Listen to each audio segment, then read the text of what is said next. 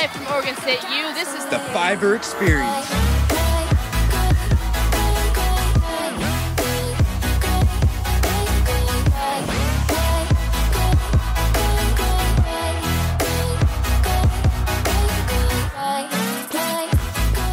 Yo, DJ Valentine here. Fiverr, man, you guys got me locked. Anything you need, Fiverr's got you serviced. We've done a, a few college shows, and you know the energy's always great. They always turn up. It's fun, and then you know they always stay with you. Fun fact: I actually used Fiverr to get my name drops done. So did he. So big shout out to Fiverr. Big shout out to Campus DJ.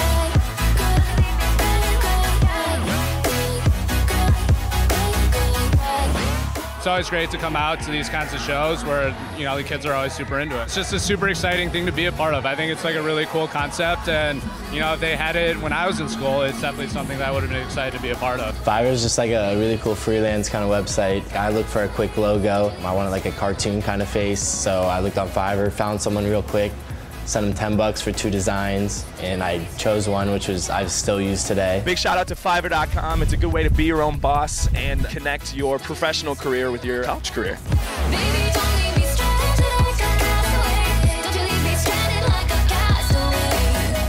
Hey, what's up, Fiverr? It's Dylan, the host of Campus DJ. We want to give you a big Shout out, thank you from everybody on the team here to everybody on the team there for participating in our competition. No event would feel complete without you guys, that is for sure. I know all the students feel the same way for helping them bridge that gap from their college career to their career career. So uh, from all the student DJs, producers, and fans, and us, we say thank you. See you at the next one.